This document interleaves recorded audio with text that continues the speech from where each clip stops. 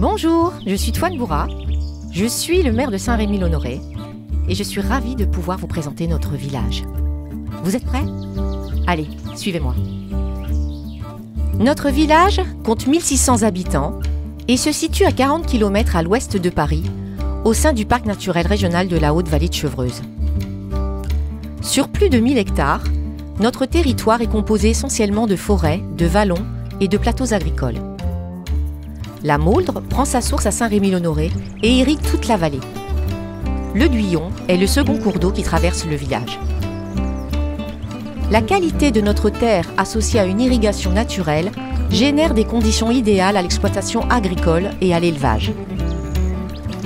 Il y a plus de 1000 ans, Hugues Capet, roi des Francs, encourage l'essartage et le défrichage de notre région. Plusieurs fermes seront édifiées et l'agriculture sera confiée aux moines jusqu'à la Révolution. L'habitat, très ancien, est reconnaissable à ses murs en pierre locale. Saint-Rémy a su préserver sa faune, sa flore et ses paysages uniques. À quelques encablures de la forêt de Rambouillet, nous partageons les mêmes plaisirs contemplatifs ou sportifs. Cerfs, biches, chevreuils, sangliers, lièvres, rapaces, la faune est particulièrement dense. Saint-Rémy-l'Honoré s'est également développé autour de ses moulins, d'une importante tuilerie et de ses carrières de grès à ciel ouvert. Ces activités cessent à la fin du 19e siècle. L'agriculture reste le poumon du village.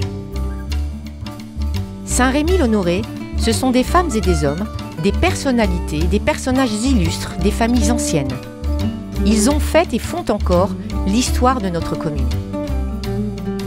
Notre village est joyeux, festif. Fête du village, fête de Noël, vide-grenier, vœux du maire. Toutes les occasions sont bonnes pour célébrer la vie. Nous travaillons ensemble à créer le meilleur cadre de vie possible pour nos enfants, nos anciens et pour les générations à venir.